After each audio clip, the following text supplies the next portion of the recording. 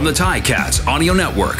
This is Ticats Today with Louie B. Yes, it is Tuesday, November the 2nd, 2021. And I just casually mentioned that yesterday was November the 1st. No big celebration, no happy November, no, hey, this is normally when the Grey Cup is, but actually it's next month. Oh, or put on the Christmas music, uh, which I did hear on the way to work today, flipping through the stations. Uh, but happy November to you. Uh, big month for the Ticats, of course, as they finish off their regular season and get set for the playoffs. Uh, of course, the chase for the playoffs continues as uh, they host the BC Lions on. Friday, a game you can catch right here on the Ticats Audio Network. If you're heading down to the game, make sure you put us on for a Tiger Cats pregame starting at 6 o'clock. Andy Fantuz and I bringing everything you need to know going into the game, and then we'll hand it off to RJ and Luke, who will have the call. Uh, Got to get to some news and notes in just a second, just to let you know what's coming up. Coach Sal, John Salavantis, going to be by for some uh, Tuesday salutations. We're going to hear from Dylan Wynn, and of course, we'll hear from Coach Orlondo Steinauer as well. As mentioned, some news and notes to pass along your way. Busy day for the uh, Ticats. As earlier it was announced that uh, the Ticats and the Hamilton Wentworth District School Board have launched a Our Cup, Our Community educational program. It's a program running from November 1st to December 6th, geared towards students in grade 4 to 6 uh, and for both teachers and students with no prior knowledge of football, all culminating with the 108th Grey Cup on December 12th at Tim Hortons Field. Uh, there's lots of different lessons that teachers will be able to uh, download. An educational package that includes lessons plans and prompts. Uh, so, very cool. Uh, we had Chuck Ely down here yesterday. We had Manny Figueroa from the school board. Uh, we'll get some of those audio clips later on in the week. So, that's pretty cool. Also, pretty cool is that Jeremiah Masoli was named the CFL's top performer for Week 13. His 17 of 24 passing attempts for 357 yards and three touchdowns was good for a perfect 158.3 quarterback efficiency rating. Uh, so, congratulations, Jeremiah Masoli named the CFL's top performer. Uh, the third Ticat to be named a top performer this season, with Simoni Lawrence being named uh, top performer in Week 7, and Frankie Williams the top performer in week four. We talked to uh, Jeremiah Masoli about being honored as the top performer. Uh, you can catch that scrum over at ticats.ca. I figured since we uh, heard from him yesterday, uh, if you want to hear what he had to say, you can go to ticats.ca after we caught up with him after practice. Uh, speaking of after practice, we had a chance to catch up with Coach, and it was actually the first time we've caught up with him uh, since the earlier announcement this week of the four national players to the roster. And uh, Steve Milton asked uh, whether the amount of injuries the Ticats were uh, dealing with back on Friday uh, led to these signings. here's what Coach had to say. We got banged up pretty good. We were shorthanded heading into the game, Steve, yep. and uh, didn't prove uh, any better as the game went on, as we lost some some folks early, and so that was that was tough. But uh, really proud of our team. I think I think we persevered, overcame uh, so what I would probably label as some severe adversity in game. And so yes, there for that reason there is a need to bring some other bodies in if we need them. Uh, now that's an if, right? If you need them, uh, so that's not determined yet whether any of these guys will I mean, that's very short notice to get us into a game. No, but there's a chance that we, we may see all of them, and there's a chance we may see none of them, and that's based on on the health of you know some of the people that uh, they would be playing possibly for. So there's no way to determine that uh, here on Tuesday. Uh, likely more to get the answers on that on Wednesday and maybe even as late as Thursday. Yeah, well, there's work. There's work still to be done, Louis. So uh, they came out there focused and, and ready to go. Again, we're going to go with the two day prep week uh, this week. Felt like that uh, their body rest was a little bit more precedent, but our meetings have been crisp. And I was pleased with the practice. Now that might change after I take a look at it on film, but felt pretty good out there. Well, with Don, he's a self starter. He's he's ultra competitive. Uh, he brings a little bit of burst uh, back there. Don also attacked. Uh, you know, he was hurt in, you know, in training camp, and I thought he attacked his rehab with the right attitude and mindset. And then, you know, because we were ratio challenged a little bit, and it kind of turned out the way that we didn't envision it, uh, he was put on the shelf for a little while. And I know he got a quick sample in there. We were able to get him up one week in there as a as a designated American or import, however you want to phrase it. And from from that point on, he's just uh, he's been a professional, right? There's no doubt he's ultra competitive. He's wanted to be on the field, and an opportunity presented itself, and uh, he made the most of it. And uh, you know, it's good for him and, and great for us. No, I, I really don't. Uh, I appreciate you asking. I know it's a it's a big moment for a lot of people, and it's been delayed, especially for the the class of uh, you know 2020. Yeah, two um, years. But, but uh, you know, that, uh, unfortunately, that's an uncontrollable factor, and I think everybody at this point in the game uh, understands the why. That is the head coach of the Hamilton Tiger Cats, Orlondo Steinauer, as he spoke to us after practice today. A couple of things in there. Uh, you know, high praise for Don Jackson and what he's been able to do so far this season. Uh, well, I guess in that last game and what he can do uh, for the rest of the season. And uh, he also responded to a question that Milty asked about the 2020 and 2021 Hall of Fame classes being inducted in the spring of 2022. So if you picked up the Spectator this morning. Uh, you might have seen Milty's story about it, but the league announced later this afternoon or this past afternoon uh, that the will the Canadian Football Hall of Fame and Museum, which is right here on the fourth floor of Tim Hortons Field, will formally enshrine its 2020 and 2021 classes of inductees in Hamilton in the spring of 2022. I was originally supposed to take part as uh, as part of the festivities heading into the Grey Cup this year, uh, but due to the COVID pandemic, uh, it was altered a little bit, so they will be inducted next spring. And uh, coach responding about that uh, today.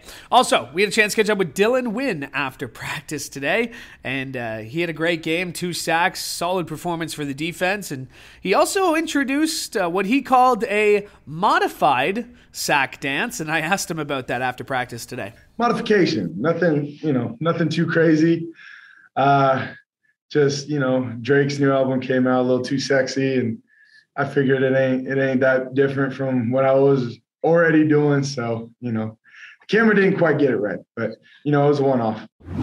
Well, we we needed it, but uh, in the same breath, you know, we go to the film. We left a lot on the field, and uh, these are things that you need to tighten down as the weather starts getting colder and the games start meaning a little bit more. So um, it was just another opportunity to for us to put our product on the field and you know, it's always great coming out with a W. Well, beautiful, beautiful thing about football is it's so humbling. Uh, so there's always there's no such thing as a perfect game. So there's always I, I find that it's it's better to live in the one week bubble and you just chip away at the things you got to work on. You bring it every day with uh, you know something you got to work on and you just work on improving that and that goes for our defense too and um, hopefully by the by the end of this whole thing, you know, we'll have a product that we're proud of. I mean, he's he's making the plays that we all know he can make, and uh, he's leading leading the offense the way that we need. You know, uh, the offense had an amazing performance last week, and uh, really bombs over Baghdad. It was it was super fun to watch, and um, as focused as I am, uh, we always joke around. I only see the highlights because I don't you know, when I'm on the sideline, I'm not watching the offense. I'm trying to diagnose and get done, do my job. But uh, uh, I love Soli, and you know, it's it's great to see that success and um, just everybody having fun. When the offense is really, you know, playing like they did last week, it, it definitely makes everybody have a good time. Man, we're we're we're at the end of the year. If, if you need extra motivation to come to practice, you got the wrong job. we're in the, the weather gets cold, and this is you know, this is when money's made. So uh, we're all we're all very very excited to be at work at all times. But um, you know, we're on on to the next one and ready to get working on BC. That is Dylan Wynn as he spoke after practice today, and uh, right there at the end, a lot of high praise for his quarterback and Jeremiah Masoli, who again was named the CFL's top performer this past week. All right, very pleased now to be joined by my friend Coach Sal John Salavantis for some Tuesday salutations. And Coach Sal, when we talked after the last game uh, it, against Ottawa, we kind of prefaced it with saying, well, it was against the Red Blacks. Uh, do we have to do the same thing here? The Ticats looked good, they dominated, but, well, it was against the Elks. Uh, you know, you can look at it that way, but uh, I think realistically, uh, Hamilton had to go in to Edmonton, play a solid ball game, and they should come out a win. And and that's exactly what happened. You know, with with the way the team is playing right now, they're on an upward swing. And whether it's the Red Blacks or the Elks or this coming week against BC, which by the way, uh, if Hamilton's able to beat BC, that eliminates the crossover, guarantees an East West Grey Cup, which everybody in Canada wants, uh, except those in the West. Uh, I, I really think that this team right now, behind the leadership of Masoli, is really starting to take form. And you can really hear the way that the other players are talking about Jeremiah where that that word that keyword comes into play and that's leadership. And it, it's it's nice to see the players and it was never in doubt but it's nice to see the players kind of back up their quarterback like they have you know publicly and and with what they're doing on the field too. Yeah and don't forget evans is in that same camp. I mean he backs up jeremiah every play every down uh, and and works with him uh, in every way he can. So uh, i really think as we talked about in in this week's practice i think uh, we're seeing where a player coach understands rest as, as opposed to adding new things, becoming uh, more strenuous on the field, etc.